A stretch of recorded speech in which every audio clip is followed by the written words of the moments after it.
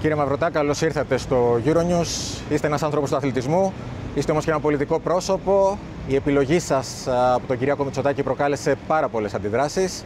Αλήθεια, τι σας είπε ο Πρωθυπουργός, γιατί σας επέλεξε; Δευτέρα πρωί με πήρε τηλέφωνο ε, περίπου πριν από μία εβδομάδα.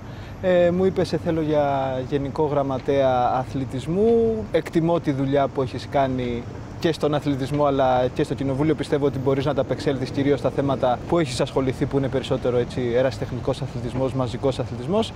Ε, θεώρησα αρκετά τιμητική αυτή την, ε, την πρόσκληση. Θεωρώ ότι είναι μια υπέρβαση από την πλευρά του Πρωθυπουργού να ξεφύγει από τα κομματικά έτσι στεγανά και γι' αυτό ανταποκρίθηκα θετικά θέλοντας να πετύχω όχι μόνο για να, ας το πούμε, να επιβεβαιώσω την εμπιστοσύνη του Πρωθυπουργού, αλλά και για να δείξω ότι αυτό το μοντέλο το οποίο το πρέσβευε πάντα το ποτάμι, δηλαδή ότι πρέπει να ξεφεύγουμε λίγο από, την, από, το, από τα κομματικά στεγανά και να βλέπουμε μια ευρύτερη δεξαμενή ανθρώπων που είναι οι επαΐοντες, όπως λέγαμε, οι γνώστες καταστάσεων, ότι μπορεί να δουλέψει. Είπατε ότι θα ασχοληθείτε κυρίως με τον ερασιτεχνικό αθλητισμό. Εγώ θα σας ξεκινήσω από τον επαγγελματικό όμως, από τον βασιλιά των σπορ. Πολύ ευχαρίστως. Το ποδόσφαιρο λοιπόν, όπου στην Ελλάδα συγκρούνται επιχειρηματικά συμφέροντα. Πώς θα λύσετε αυτό το κόρυδο δεσμό; Η άποψή μου είναι ότι όσο λιγότερο αναμειγνύεται το κράτος στα θέματα του επαγγελματικού αθλητισμού τόσο καλύτερα. Δηλαδή πρέπει ο ρόλος του κράτους είναι να βάζει τους κανόνες, ε, να παίζει το ρόλο του τοποτηρητή, ε, να να διασφαλίζει ότι υπάρχει μια δικαιοσύνη και μια αντικειμενικότητα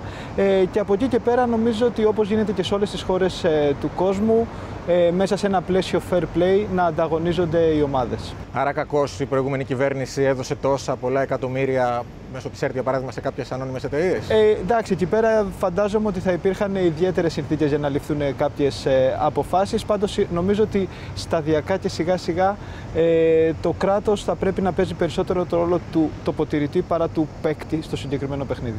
Ποια είναι η μεγαλύτερη μάστιγα για το ποδόσφαιρο, οι προσυνεννοημένοι αγώνες, η βία και τι θα κάνετε για να τα λύσετε; Πρέπει σιγά σιγά να εμφυσίσουμε σε όλο τον κόσμο και στο φίλαθλο κόσμο ποιος είναι ο πραγματικός ρόλος του αθλητισμού και νομίζω ότι σιγά σιγά θα κερδίσουμε και την εμπιστοσύνη ε, και των ομάδων αλλά και των φιλάθλων. Δηλαδή το να πηγαίνουν οι οικογένειες να βλέπουν τους αγώνες είναι ένα στίχημα που πολλοί το έχουν βάλει. Δεν θα γίνει από τη μια μέρα στην άλλη, αλλά νομίζω ότι έχουμε εκείνα τα εργαλεία και ως πολιτεία Νόμους έχουμε, απλώς πρέπει να τους εφαρμόσουμε. Και νομίζω ότι εκεί πέρα είναι που πρέπει να δοθεί έμφαση στο ηλεκτρονικό εισιτήριο, ε, στα εποπτικά μέσα στα γήπεδα, στο πώς δηλαδή θα μπει μια τάξη ε, στο χώρο του ποδοσφαίρου, αλλά γενικότερα του επαγγελματικού αθλητισμού. Είναι μια λύση το ΒΑΡ για το ποδόσφαιρο και θα εφαρμοστεί άμεσα; Το ΒΑΡ είναι μια λύση η οποία νομίζω ότι έχει δουλέψει αρκετά καλά. Έχει ε, αυξήσει την αξιοπιστία του ποδοσφαίρου. Νομίζω ότι είναι στα σχέδια να λειτουργήσει από την επόμενη σεζόν μακάρι να είμαστε έτοιμοι. Θα είναι και από την πρώτη αγωνιστική, έχετε κάποια εικόνα ήδη;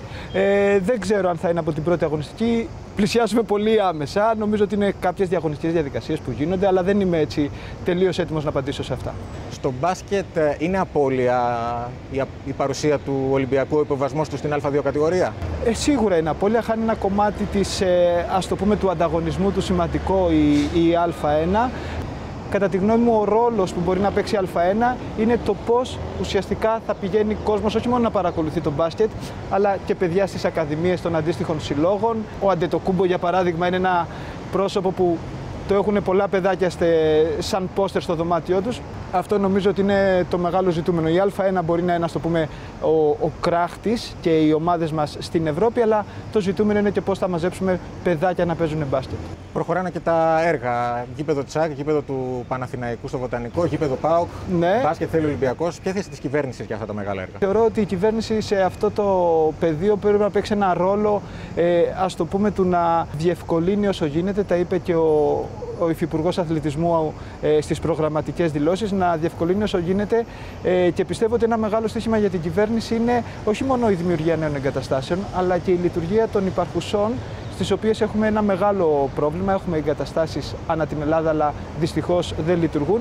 Γιατί αν δεν λειτουργήσουν οι εγκαταστάσεις δεν θα μπορούμε να έχουμε παιδιά ή αθλούμενους γενικά να τις αξιοποιήσουν και εκεί πέρα πρέπει να αξιοποιήσουμε πόρους ε, και από τον κρατικό κορβανά και από την τοπική αυτοδιοίκηση αλλά και από κοινοφελή ιδρύματα θα έλεγα, και από την ιδιωτική πρωτοβουλία για να μεγιστοποιήσουμε τη διαθεσιμότητα των εγκαταστάσεων. Άρα, κάποιος είδους συμπράξεις ιδιωτικού και δημοσίου τομέα στα γήπεδα; Τις βλέπω πολύ θετικά αυτές, με την έννοια ότι ε, ό,τι μπορούμε να κάνουμε για να έχουμε ανοιχτές τις εγκαταστάσεις, να μπορεί να αθλείται ο κόσμος, ε, είναι νομίζω κάτι το οποίο πρέπει να κάνουμε. Όπως επίσης αυτό που πρέπει να κάνουμε είναι και στα αεραστεχνικά σωματεία να βοηθήσουμε με κάποιες δυνατότητες χρηματοδότησης μέσω φόρου απαλλαγών, ε, διάφορων έτσι, ε, τέτοιων ή να δώσουμε τη δυνατότητα σε πιο ε, οικονομικά αδύναμε οικογένειες να σπρώξουν τα παιδιά στον αθλητισμό με διάφορα κίνητρα. Όλα αυτά είναι υποσυζήτηση και όλα αυτά είναι που νομίζω ότι θα πρέπει να τα βάλουμε μπροστά. Κατάλαβα ότι θα είναι και αντικείμενο ενός νέου αθλητικού νόμου.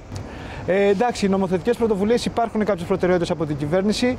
Ε, νομίζω ότι ο αθλητικός νόμος θα είναι κάτι το οποίο θα έρθει σε κάποια ε, επόμενη φάση. Από την προηγούμενη κυβέρνηση υπήρχαν δύο-τρία στοιχεία θετικά, τα οποία εκτιμάτε δηλαδή ότι άφησε κάποιο θετικό έργο σε εσάς; Ε, πάντα υπάρχουν θετικά στοιχεία. Νομίζω εγώ με τη θεωρία της σκάλας. Δηλαδή ότι κάποιος βάζει κάποια σκαλοπάτια και έρχεται ο άλλος πατάει σε αυτά και βάζει κάποια επόμενα και από τον ε, Γιώργο Βασιλιάδη, αλλά και πιο πριν από τον Σταύρο τον Κοντονή και από τον ε, Τζούλιο το Συναδεινό ε, γίνανε κάποια βήματα. Πείτε ένα-δύο από αυτά τα βήματα.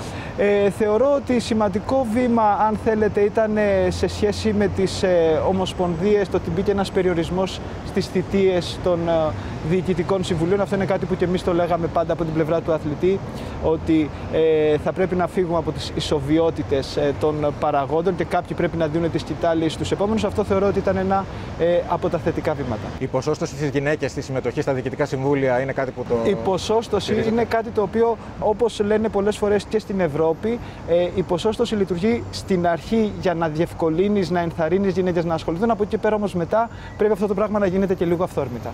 Η κάρτα υγείας θα εφαρμοστεί από 1η Αυγούστου; Ε, αυτό είναι κάτι το οποίο το εξετάζω. Δηλαδή, η κάρτα υγείας είναι μια πολυταλαιπωρημένη, ας το πούμε, περίπτωση. Είναι κάτι το οποίο χρειάζεται.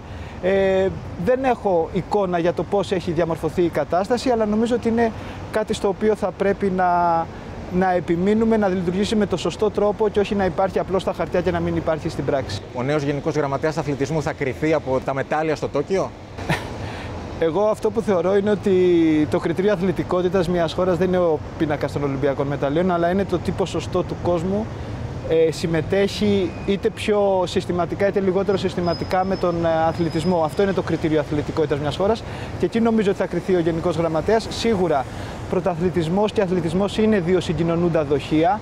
Το ένα τροφοδοτεί το άλλο, οπότε χρειαζόμαστε και τις διακρίσεις, χρειαζόμαστε τα μετάλλια για να δημιουργηθεί μεγάλη βάση στην πυραμίδα που θα οδηγήσει, στην πυραμίδα του αθλητισμού που θα οδηγήσει σε μια ψηλή κορυφή. Πιστεύετε ότι θα τα καταφέρετε όταν ολοκληρωθεί η θητεία σας εκεί που αρκετοί προκατοχοί σας δεν πέτυχαν; Ε, δεν θεωρώ ότι δεν πέτυχαν, απλώς βάλανε κάποια ε, σκαλοπάτια για να πατήσουν οι επόμενοι να βάλουν τα επόμενα. Νομίζω ότι η δουλειά μας και θα κρυθούμε από το πόσα σκαλοπάτια θα βάλουμε για να ανέβει η Ελλάδα ψηλότερα αθλητικά, με την ευρύτερη έννοια του αθλητισμού. Καλή επιτυχία στο έργο σας. Ευχαριστώ πολύ.